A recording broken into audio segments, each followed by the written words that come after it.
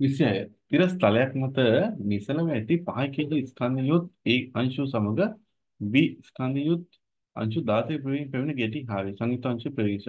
ඒක ලේසි ගානක්. ඉතින් අපි කියලා ලොකු ගණන් හදලා ලේසි ගණනකට ඇවිල්ලා තියෙනවා. කමක් නෑ. ඒකත් අදියම හදමුකෝ.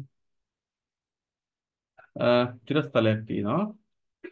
5 kg ස්කන්ධයොත් ඒ අංශුව. ඒතර මේ අංශුවට පහක් තියෙනවා. අංශුව සමග 2 kg ස්කන්ධ 2 kg ස්කන්ධයොත් තියෙනවා. තව අංශයක B කියලා ගමු. අ අංශුව 16 ප්‍රවේගයෙන් පැමිණ හාවේ. ඒතර තිර ස්ථලයේ නිසල තියෙන 5 kg 2 kg ස්කන්ධයක් 16 වේගයෙන් එනවා. තිරස්තලවල නිතර භාගී ස්කන්ධය ඒ අංශු සමග 2 kg ස්කන්ධයොත් මෙතන B අකුරක් එනවා ඇති B අංශුව 16 ප්‍රවේගයෙන් පැමිණ හාවේ හාවෙන කියන්නේ මෙතන එකතු වෙලා සංයුක්ත වෙනවා. එතකොට අන්න ප්‍රවේගය වම් පැත්තට එනවා. අපි ඒක V කියලා ගන්නවා. කිලෝ 7ක් වෙනවා. සංයුක්ත අංශු ප්‍රවේගය වෙන බොහොම ලේසි නේද? පෙරගම්මිතාව සමානයි පසුගම්මිතාව. අපි කරපු ගණන් එක මේව බොහොම ලේසි.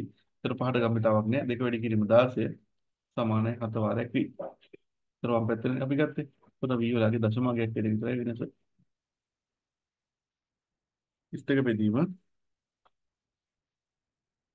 7 හතරෙන් පහයට මේ මිශ්‍රණය කරනවා. අන්න ප්‍රවේගය.